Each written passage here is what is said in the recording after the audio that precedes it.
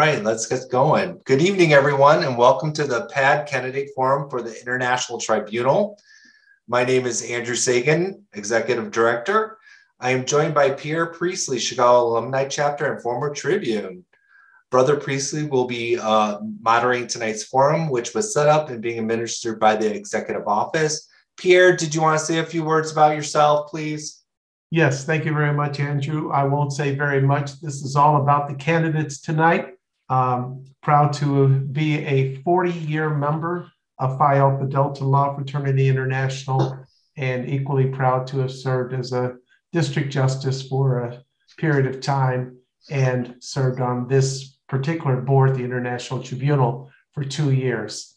Um, but other than that, I'm a proud, I'm just a proud Phi Alpha Delta volunteer and happy to be a part of this process. Thank you all. Thank you, Pierre. Uh, before we get going, I'll explain how tonight's forum will work. Each candidate will have two minutes to present an opening statement. And then in a round robin format, we will move into the questions. Candidates will have two minutes to answer each question. The candidates have also not been given any questions or sample questions in advance please utilize the question and answer feature in Zoom to pose questions to the candidates, and then we will ask those questions if we have time. Tonight's forum features our candidates for Chief Tribune and Associate Tribune positions. Uh, these candidates are the Honorable Kimberly Gallant for Chief Tribune, Daniel McDowell for Associate Tribune, who should be joining us shortly, computer update, and Jeff Crane for Associate Tribune.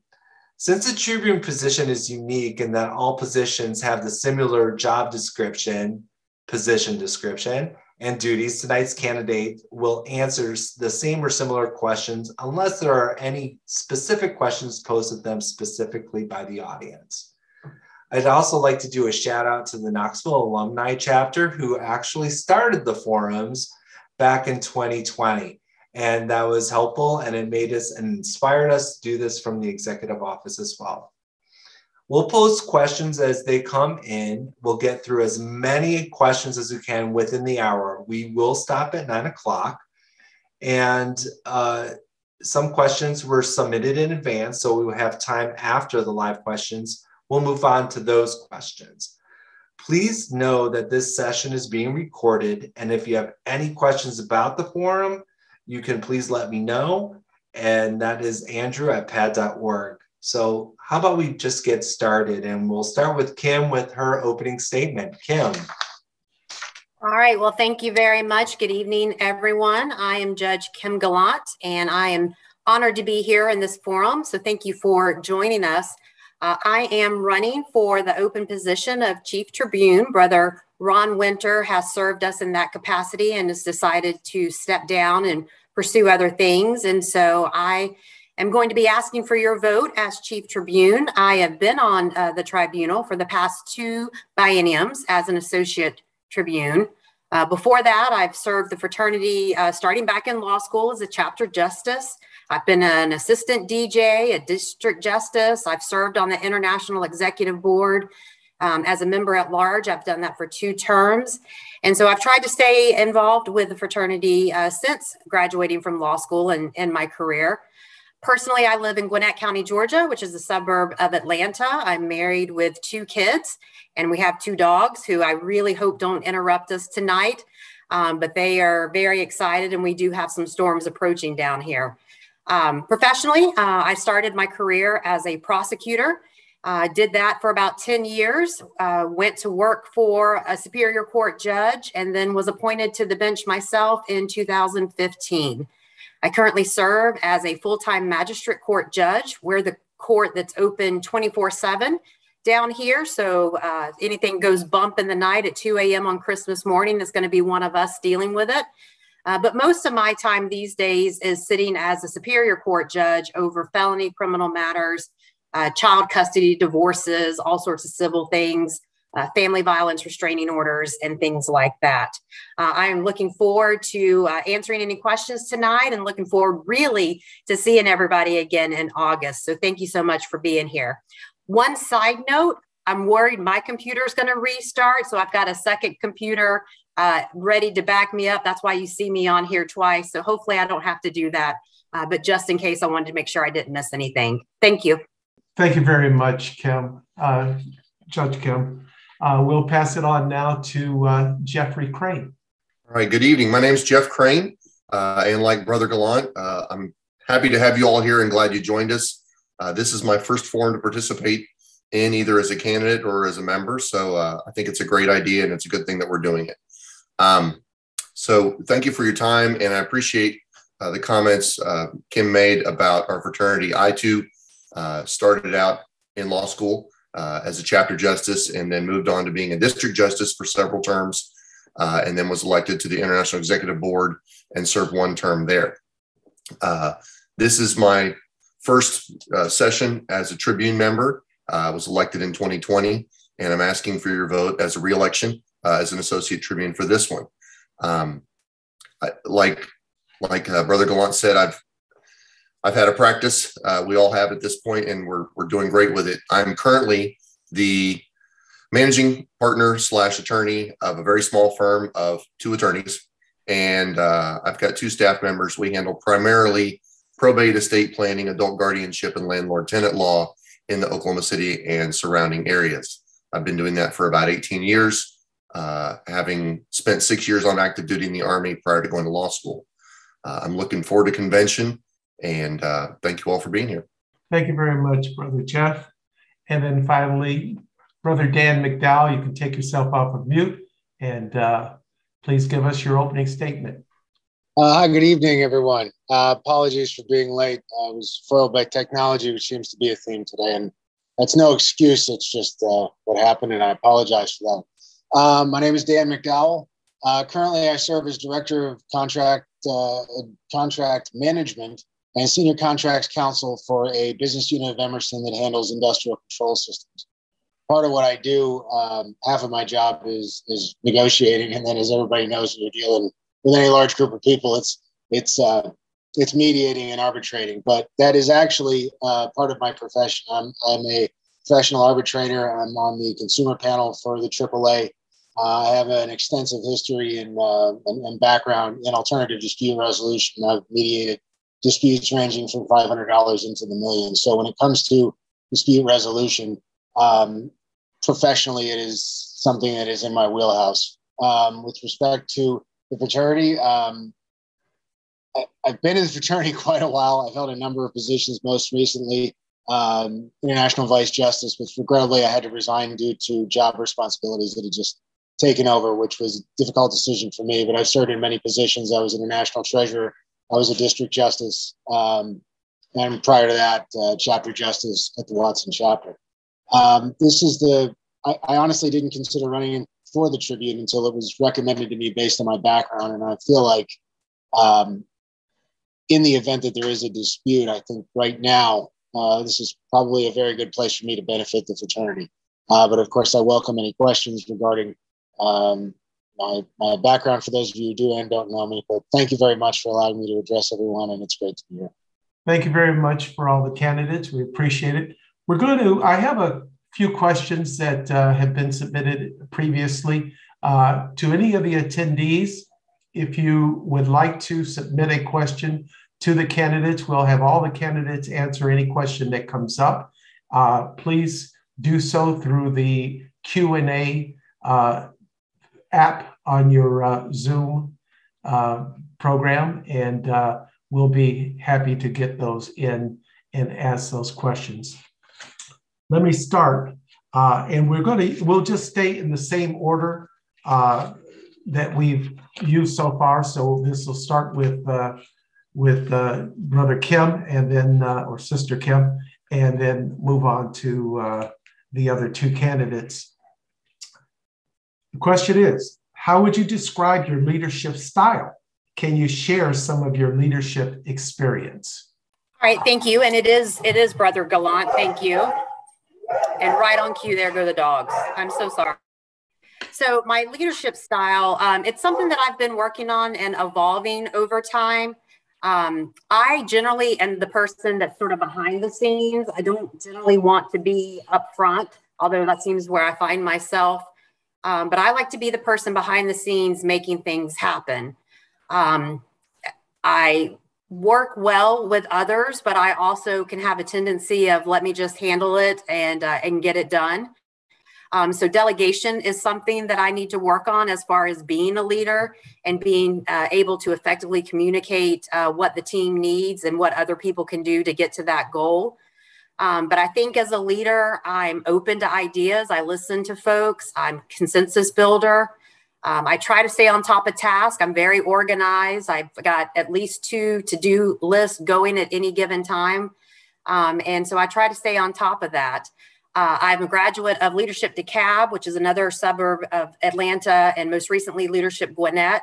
And I stay involved just to not only because of the people in the organization, but because I continue to attend seminars and classes on leadership because I know leadership is something that I'm ever evolving and trying to do better. Um, but I try to lead by example. Um, I do that with my Girl Scout troops. I have two of them. And of course, I do that with my daughters. Um, but I try to lead by example. I try to communicate clearly. I need to work on the delegation. Thank you. Uh, Jeff, Brother Jeff. Yes, thank you. Um, leadership was my job for 23 years uh, in the Army as a commissioned officer, uh, both six years on active duty and then another 17 in the reserves. Uh, I was blessed with the rank of lieutenant colonel ultimately uh, and led troops uh, in the hundreds at times and in charge of millions of dollars worth of assets and equipment. Um, I saw lots of different leadership styles and I tried to adopt the ones that I thought were most beneficial and avoid the ones that I thought could be viewed as or, or resulted in toxic behavior. And I think that we are constantly evolving, uh, as Kim said, in our in our leadership styles. Uh, I've mellowed out a little bit uh, in my middle agedness, and things aren't as type A as they used to be. Uh, by the same token, I have millennials working with me, and uh, I'm having to learn to do things in different ways. And actually, it's been quite enjoyable. Uh, I, I, appreciate that challenge. as a leader of a small law firm, yes, I lead from the front. yes, I lead by example but I also have to ensure, and I work very hard at getting buy-in because if I'm not developing my subordinates and my coworkers so that they can be successful, that they have the tools and resources they need, uh, then I'm not doing my job right, and everything's going to fall apart. So uh, I look forward to um, to continuing whatever leadership is put in front of me. It's interesting. She mentioned leadership Gwinnett. Uh, I was just selected a couple of weeks ago for leadership Oklahoma City uh, to start in their signature program this fall and it'll last about 10 or 11 months. So I'm looking forward to that. That's good to hear. Thank you very much, Brother Jeff. And Brother Dan. Uh, yeah. I, I, hope you'll forgive me. Would you read the question one more time just so I'm sure I'm responsive? I apologize. Oh, be, be happy to. Um, Thank you. How would you describe your leadership style? Can you share some of your leadership experience? Okay, so you're making me follow a judge and a lieutenant colonel. Fantastic.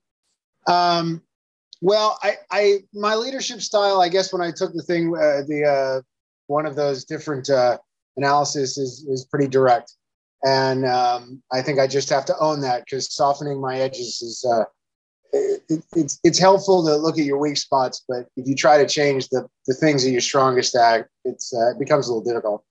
Uh, in my career, I currently lead two different multinational teams uh, that have uh, I've got personnel in India, in Romania, in uh, Costa Rica, pretty much across the world. Um, and I have to manage teams that are have the same responsibilities across all those different areas, time zones, and and uh, and um, locations.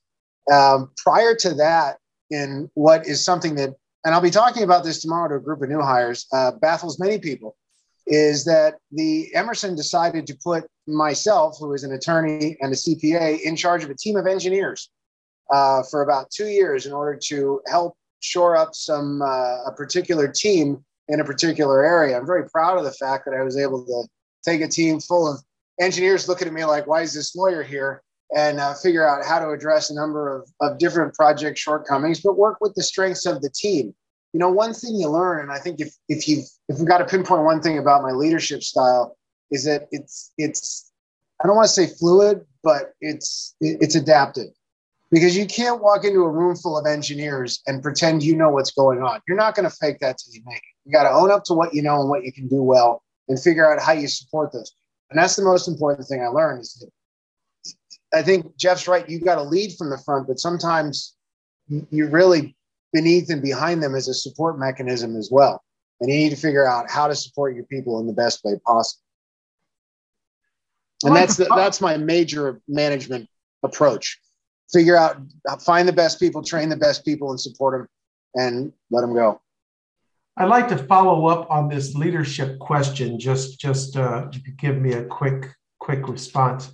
Uh, you all three talked about your leadership style generally, and that was the question. So I appreciate your responses.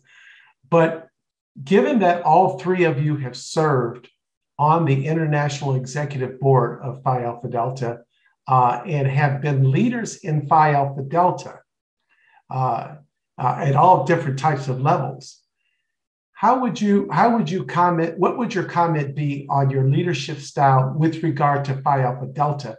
I understand your professional life; you covered that, but what about Phi Alpha Delta? Is it different, or do you just translate what you just mentioned? What what you just mentioned. So we're going to go in the same order for this, uh, and and then we'll switch it up as far as who goes first on the next question. But just for consistency, uh, Brother Kim, could you elaborate on your Phi Alpha Delta leadership? Sure. So, I mean, starting back in law school, I was part of the the reactivation effort of our chapter at Georgia State, and that's you know organizing recruitment, uh, being a leader in in that respect, and a chapter justice, making sure we had events and we had a healthy chapter and leading that chapter and continuing to grow that chapter. And I think that's really been my goal throughout my leadership within the fraternity uh, as an ADJ and a district justice is to continue to grow and, and spread the word that uh, we are a fantastic organization and, and these is where where you need to be. We want you to join us and we want to be a benefit to you.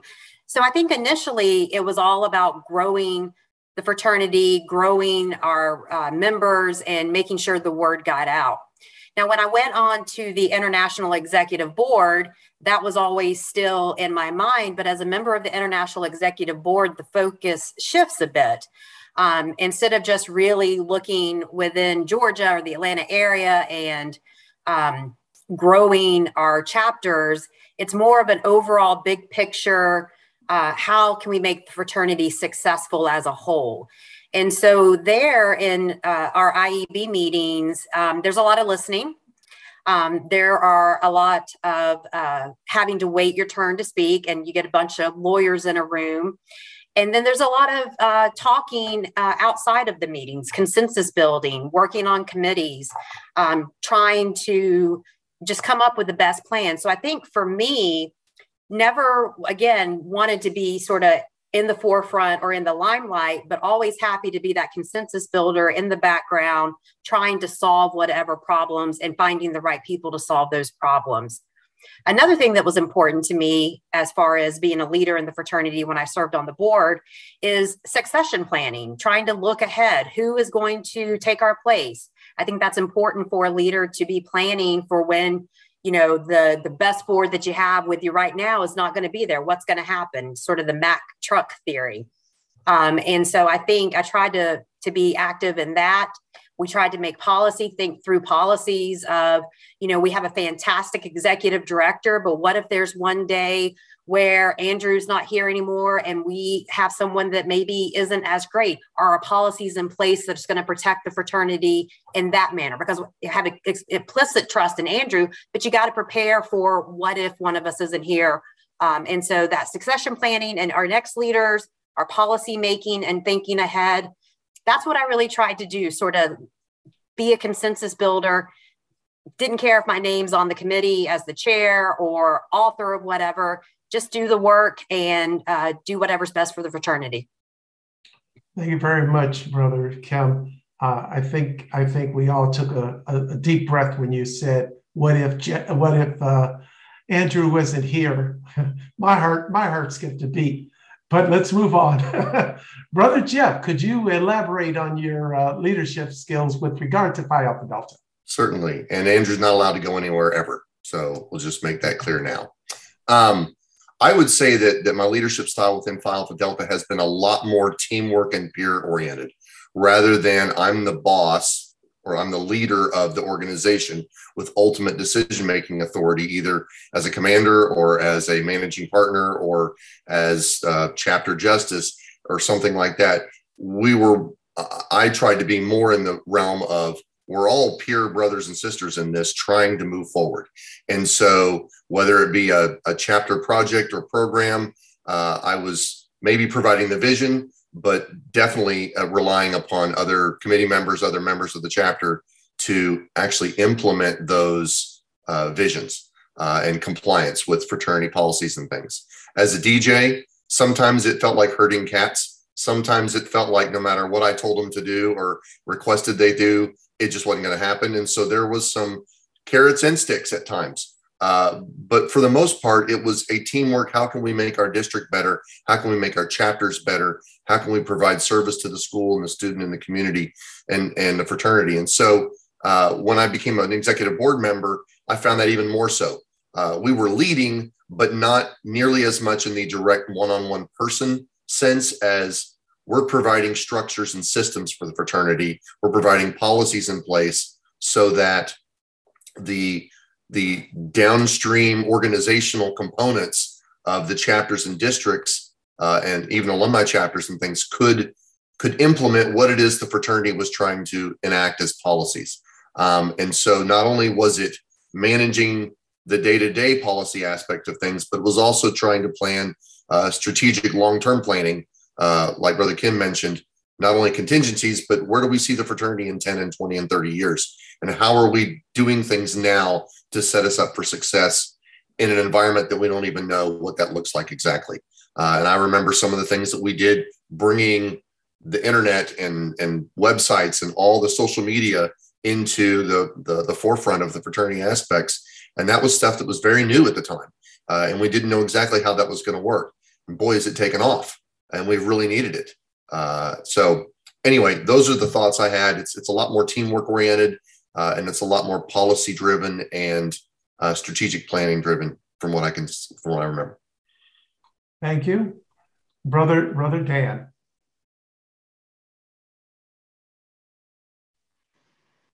So I have maybe a little bit of a different turn on this, and I didn't put two and two together until I was in a leadership training uh, for my company. And to be honest with you, I'm a little jaded when it comes to those because I've been through a number of them and I wasn't quite sure what to make of this one. And I have to say, my initial uh, concerns were unfounded. Um, I got to learn a lot about my leadership style, but the person that I spoke with, so we had to sit down in a one on one, every individual manager, and you got reviewed. And in that review, it was how did your people view you? Across a bunch of scales. And there was a there was like a form I'd had to take. I think he said it was a W or something that if it was good, it would meet this particular graph form. And I was one of the few that had this. And I, and I know, of course, that's that's great, but that's one of those things you've got to maintain over time. But the relevance of this discussion was he told told me about sometimes leaders haven't found certain spaces to expand or use their leadership skills. So they'll go out and they'll find particular ways to do that. Phi Alpha Delta was that for me. So essentially, my leadership skills grew up through Phi Alpha Delta rather than me bringing them back to it. And a lot of what everybody talked about and having to deal with the different levels of, all right, you're at the board now, or you're at district justice now, or you're uh, at chapter justice now.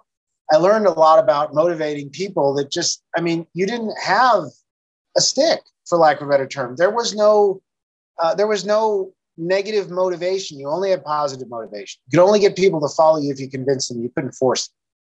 And I just learned a lot about that and how to evolve a strategy around that. And as you go along, you realize that, yeah, in, in reality, no matter what your title is, you're going to have to convince people that what you're asking them to do is the right thing if you want complete buy-in and total and as much success as you can have. I don't like the word total or complete success because everything's got an improvement, but you know, I, I just learned that through Phi Alpha Delta. And when I got to the board, you know, again, it wasn't, I'll be frank, in the room, it wasn't as much leadership as it was mediation, alternative dispute resolution skills, because we needed to talk to each other in a way that was effective. Because when we didn't, nothing got done.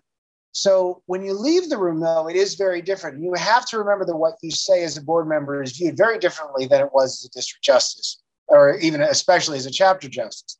So the adjustment for me, which is uh, something that I, I think Jeff and Kim experience on a professional level consistently, consistently due to what they do in, in you know in the military as a judge in the public eye me in my corporation now as a director i'm realizing that people are watching this. And i learned these things from phi alpha delta. I picked up on these things. And so i i kind of carried my leadership from phi alpha delta to my job. So the answer is I, I guess my style has has evolved based on that experience but it i don't use a different mechanism method manner approach um, between the two organizations. But as others have said, I think Jeff was talking about, and I think Kim to a certain extent, at different levels, you're going to have different man, you know, mechanisms. But my approach overall hasn't really isn't really different. Beautiful. Thank you very much. Um, we are going to switch up the order so that one person isn't always the first, one isn't always the last. Um, so with that, I'm going to ask another question. I will ask uh, Jeff Crane, uh, Brother Jeff, to address it first. Then we will move to Dan second and Kim Gallant third. Here's a question, folks. Being that all three of you have served on the International Executive Board, in your opinion, how is serving on the trip different than serving on the board? And do you think that the three that there are challenges you may face uh, about numbers influencing your opinion? So it's sort of a compound question, but basically, uh, you know, how is it? How do you find? How do you believe serving on the Tribune is different? And the question also is, perhaps because of that knowledge, uh, do you? How do you uh, think you will face the challenges of members influencing your opinion? So, Thank you. Jeff, could you start? Yes, sir. Thank you.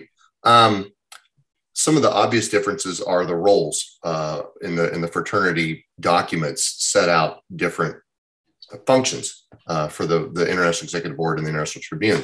The board is the policymakers. They are the acting, moving, fluid, working board throughout the biennium uh, who sets and directs policy for the fraternity. The Tribune, however, does not do that. They are um, there as an adjudicative body, in my opinion, according to the documents, to um, rule on cases and controversies.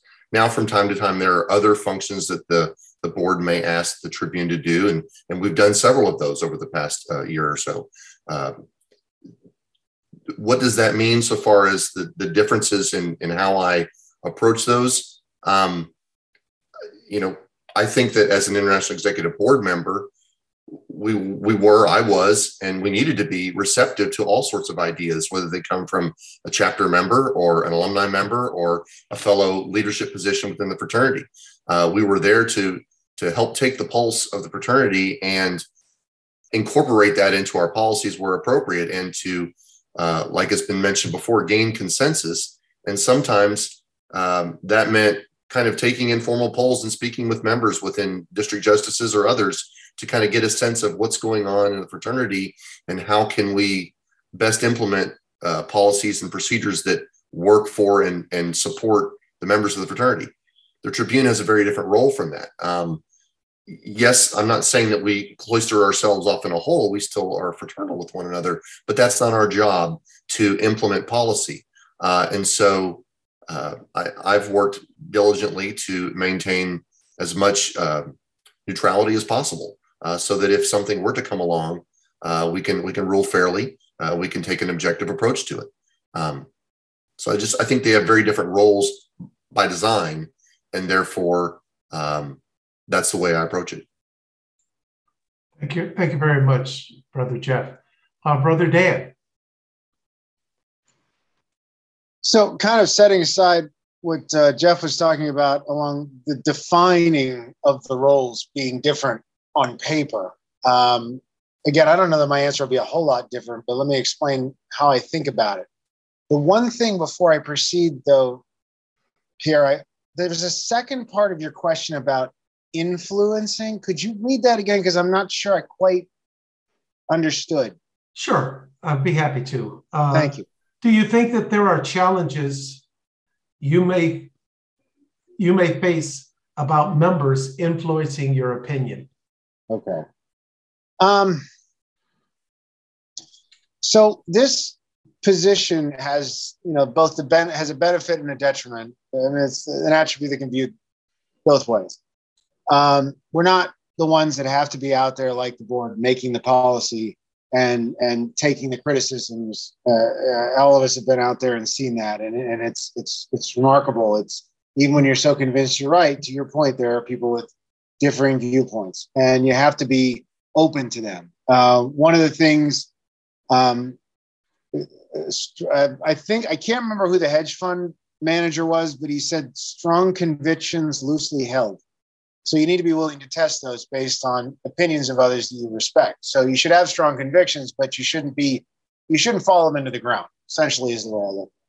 With respect to how I would approach this job, what I'm talking about is having the benefit and the detriment. Is as I said, you're not out, you're not making policies. You can't really drive from this position, but you do have a responsibility um, to uphold and remain how to phrase this you don't have to make those policy decisions so you don't suffer the criticism. However, because of that, you must be above reproach when it comes to decision making. That's the hard part of everybody's biased in some way. If you say that you're not, you're lying. That's the nature of human beings. We have different biases and such. Um, I think you have to maintain that integrity and be free from that bias when you uphold the important principles of the fraternity. There are going to be a lot of people that still disagree with that. Um, I think that it's, I don't know, I don't know that it's less or more onerous to deal with them being on the trib, but in the end, you have to make the right decision for the right reasons, and you're going to have to explain it. And I, I just, I, I view them as very different. I view this as an ADR committee that must be impartial, must be neutral, and must make decisions based on the best interest of the fraternity, subject to the rules in the particular matter. Um, so I, I, I don't see being influenced too much by the outside because you're not really supposed to have that influence. So I, I kind of say, I don't know that I would be to the second part of the question. So I, I, I know that's a little rambling, but I, I'm, I'm just not sure how to answer that second part of the question. I don't think I would be affected by opinions because I don't think you're supposed to be in this role. That's my answer. Fair enough. Fair enough. Thank you very much. And Brother Kim.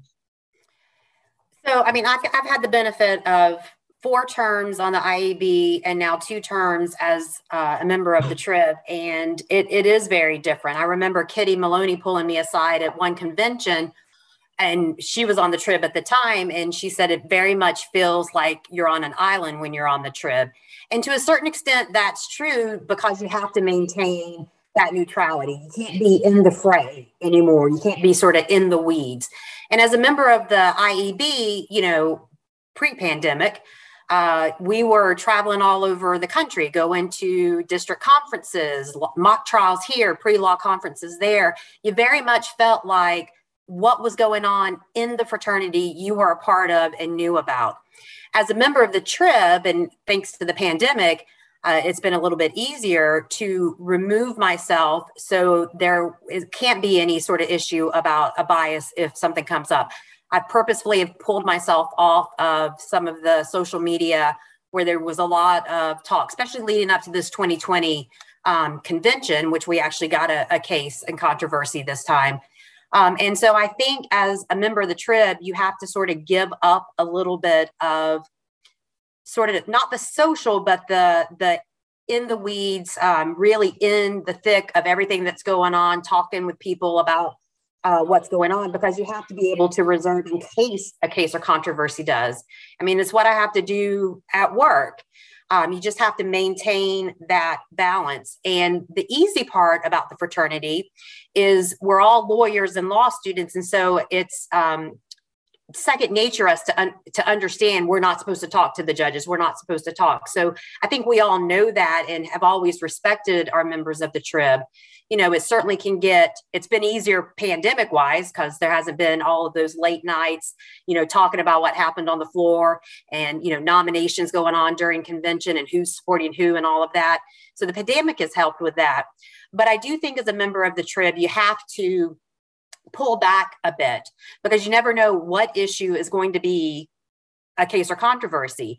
And I would hate to have myself as one of three have to recuse and then create all of that because I was in the middle of it because I was curious or, you know, whatever.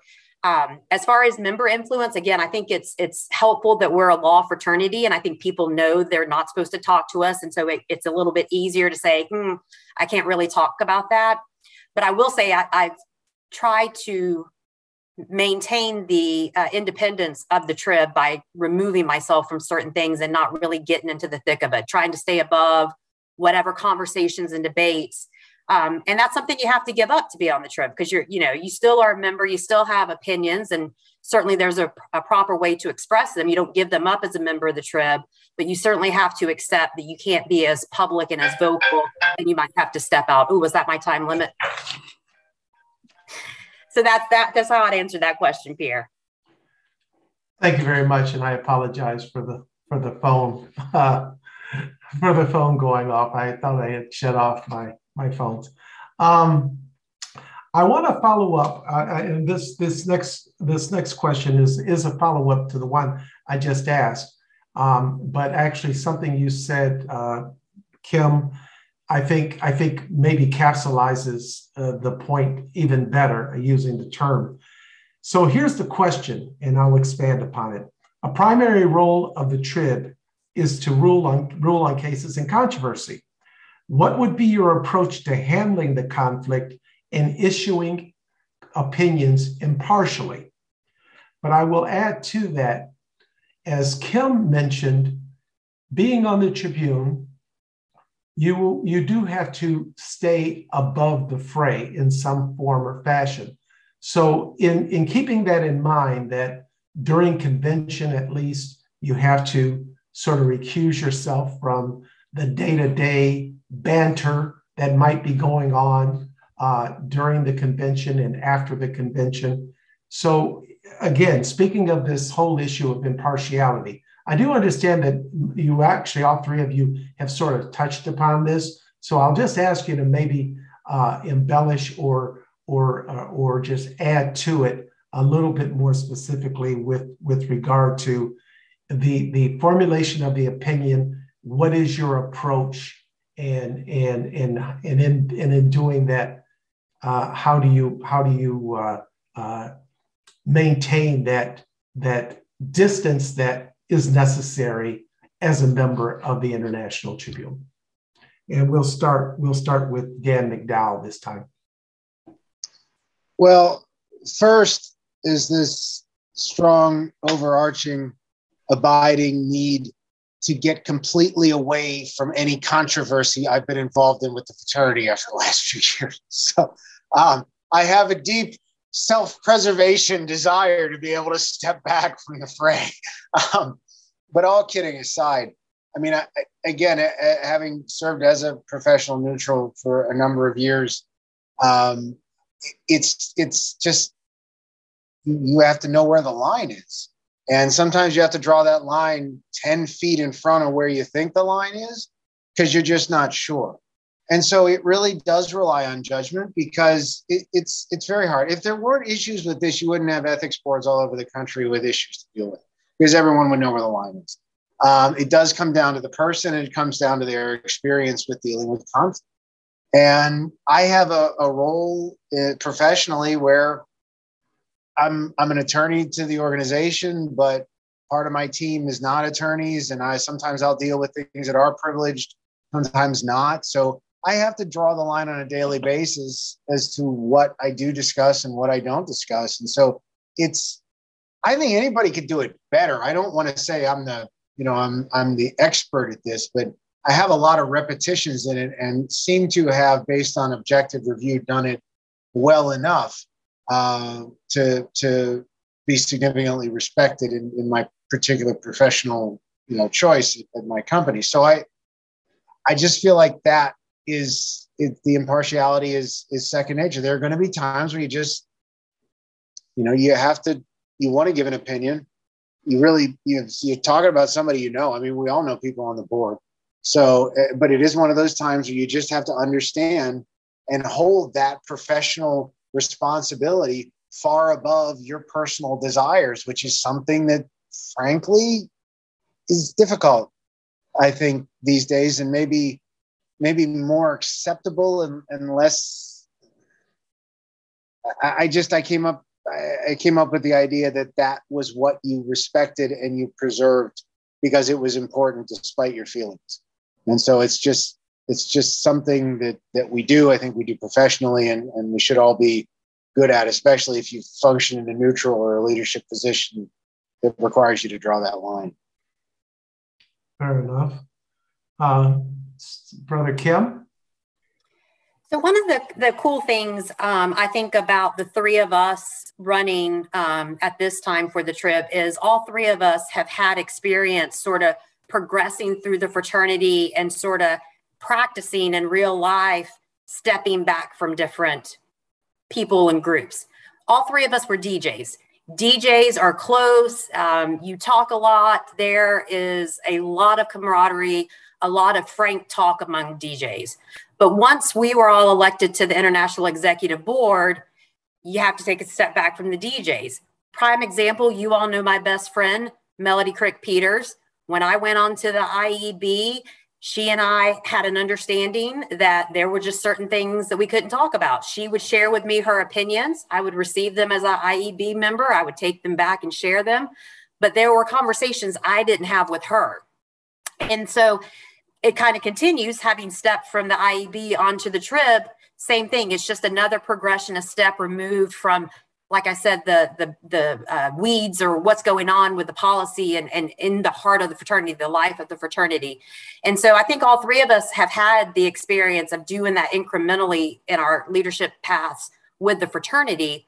Incidentally, I also think that's what makes um, us qualified for the trib because at one point, it seems like when I first came on, the trib were people who had not been on the board. Maybe they came through another leadership path.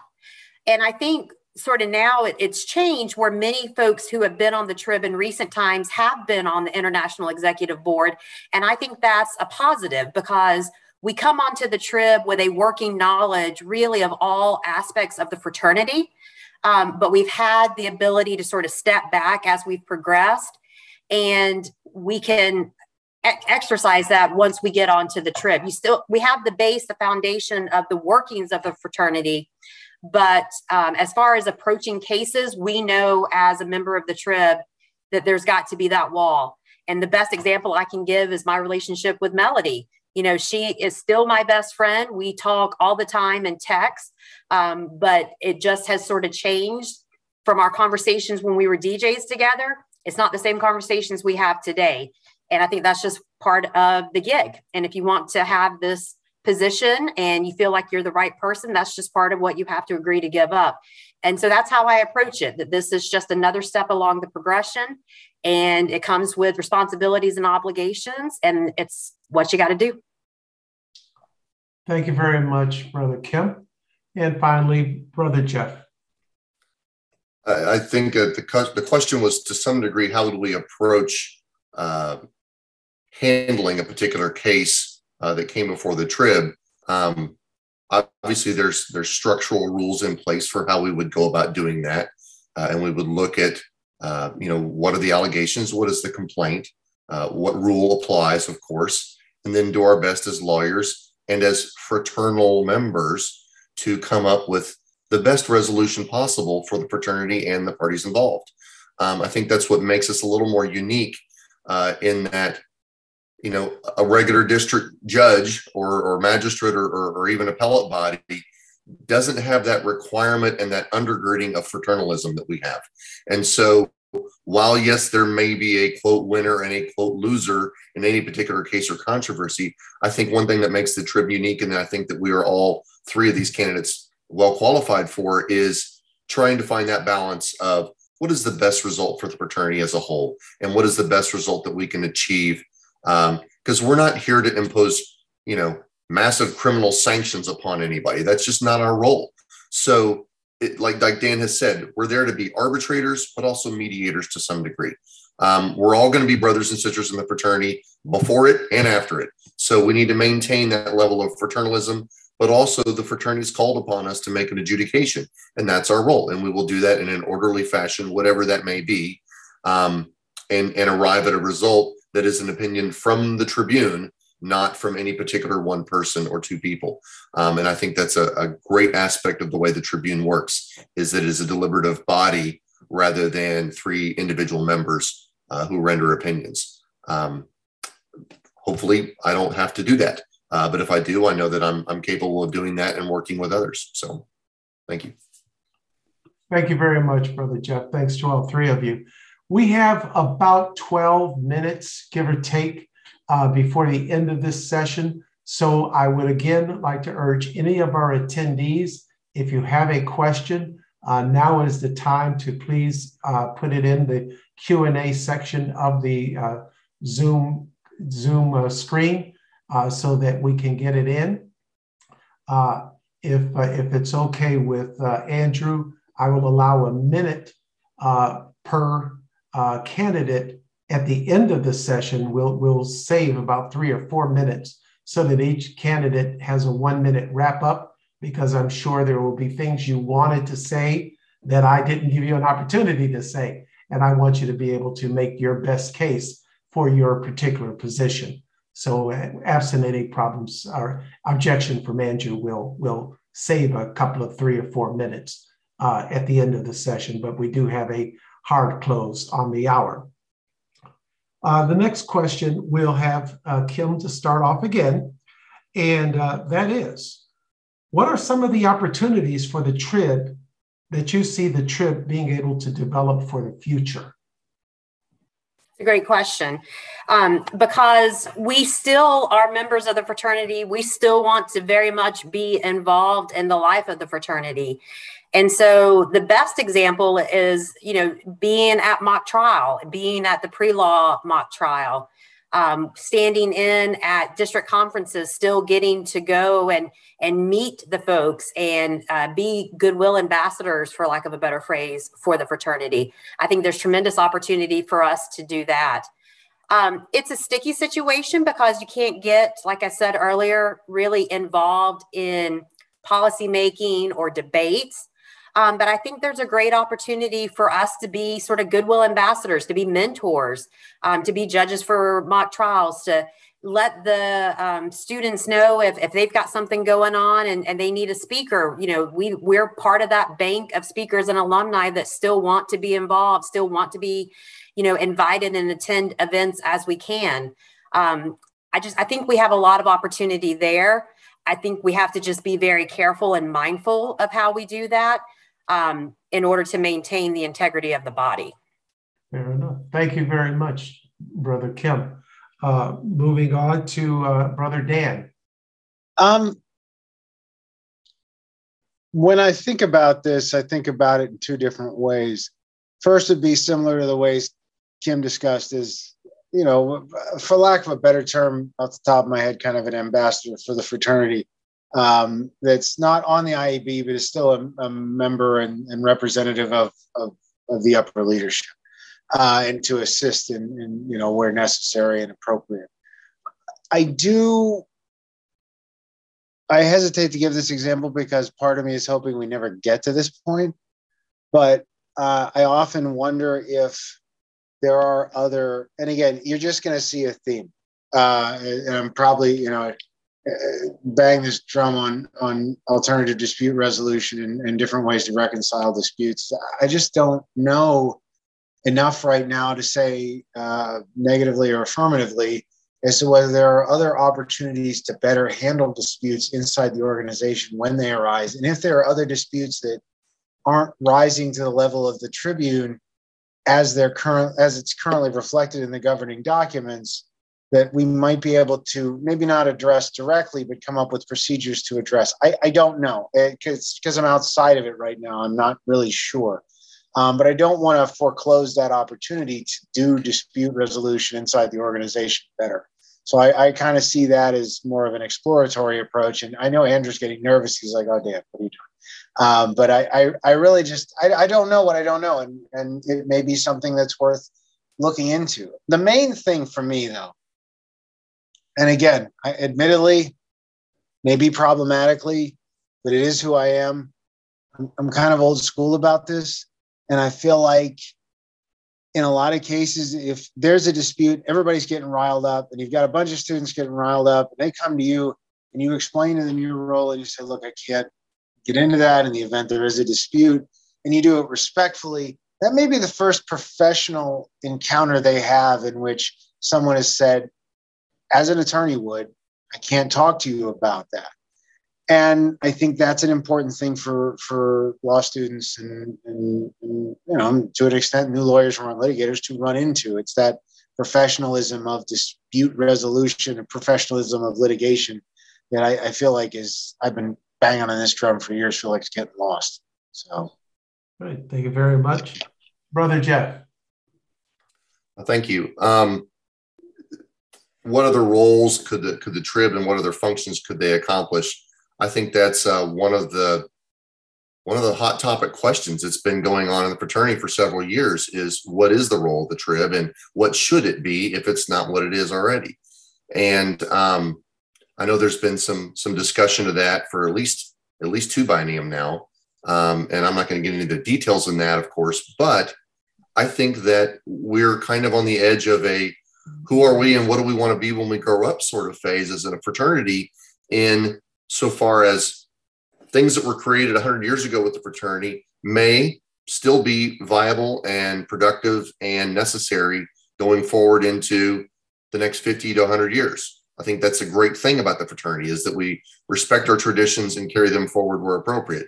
But I also recognize that the way we did things 100 years ago may not be always, in every case, the best way to do it for the next 100 years. And so I think the fraternity is, is finding itself at, at, at a, a crossroads of sorts uh, in what to do with the trib.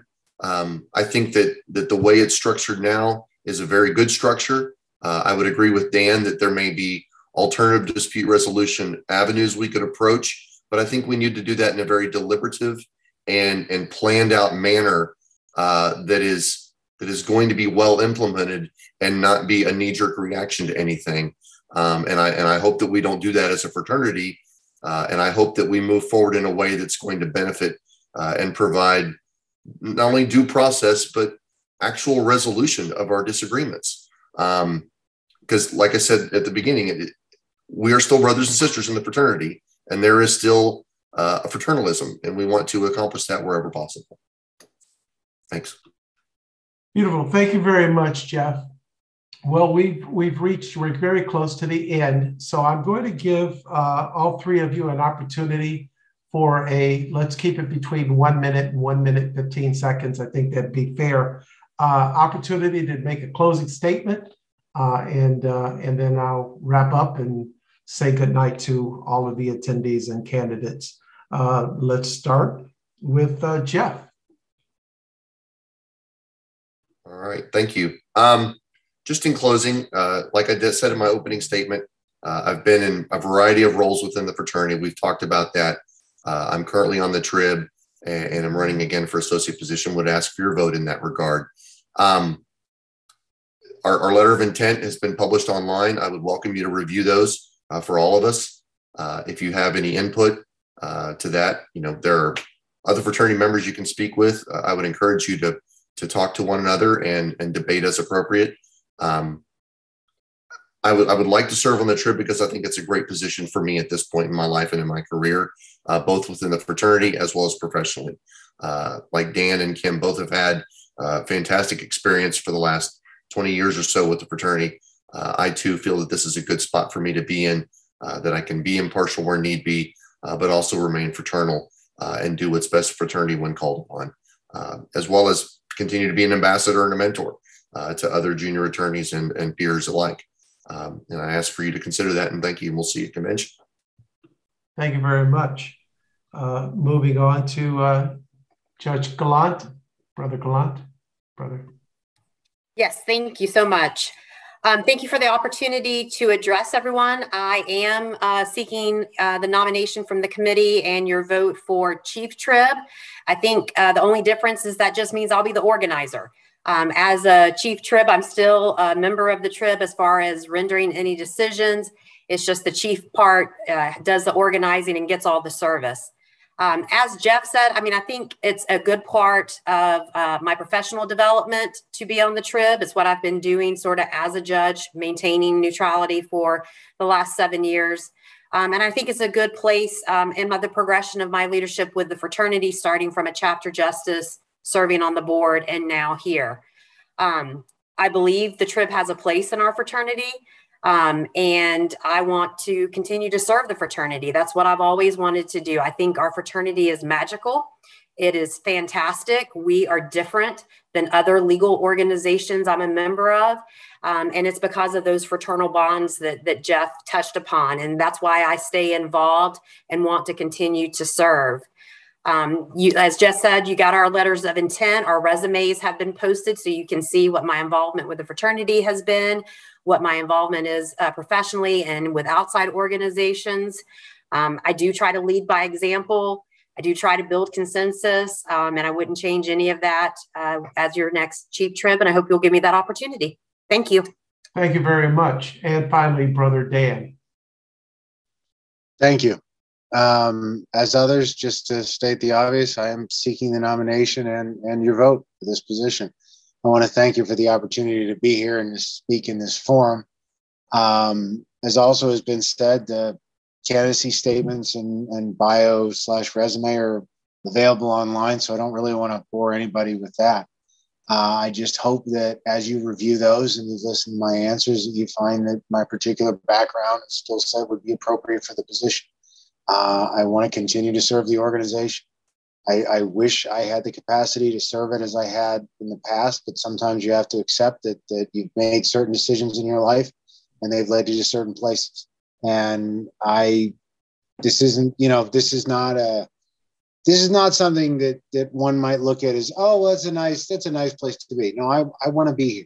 I'm not, I'm not doing this for, you know, I just want to stay involved. I legitimately believe that my background and my skill sets are actually uniquely suited to be here in this position. Otherwise, I, I wouldn't be doing it. I maybe I, I got to give fate a little credit for that. Uh, maybe that's what the whole thing was was bringing me to. So I appreciate everybody listening. I hope my answers are satisfactory, and I look forward to seeing everybody. Thank you. Thank you to all of the candidates. I will turn it over to to, uh, to Brother Sagan to to close it out. But again, thank you to the candidates for being here, and uh, we truly appreciate your service uh, to Phi Alpha Delta Law Fraternity. Brother Andrew. Well, thank you all. Thank you, Kim, Dan, and Jeff, uh, for uh, for running for the trib, and thank you, Pierre, for moderating tonight. We're going to uh, again post this video on our YouTube channel, and we'll have this available for view if you like to review it or if you like to share it with folks. And uh, with that said, we are done for tonight and we will see you all at convention. Have a lovely evening.